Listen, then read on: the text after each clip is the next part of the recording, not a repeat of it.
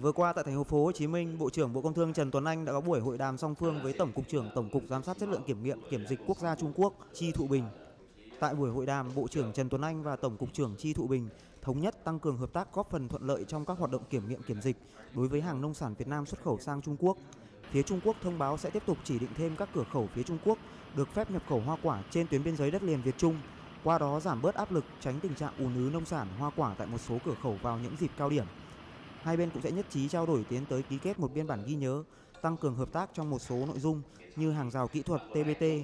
xây dựng cơ chế phối hợp cảnh báo sớm theo thông lệ quốc tế khi phát hiện các vấn đề liên quan đến kiểm nghiệm kiểm dịch đối với hàng nông thủy sản Việt Nam xuất khẩu sang Trung Quốc, tạo điều kiện thuận lợi cho xuất khẩu hàng nông thủy sản Việt Nam.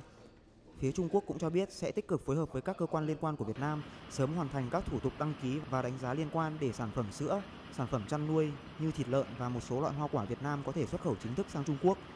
Được biết, tổng kim ngạch thương mại Việt Nam Trung Quốc năm 2015 đạt 66,6 tỷ đô la Mỹ và 4 tháng đầu năm 2016 tổng kim ngạch thương mại hai nước đạt 20,64 tỷ đô la Mỹ.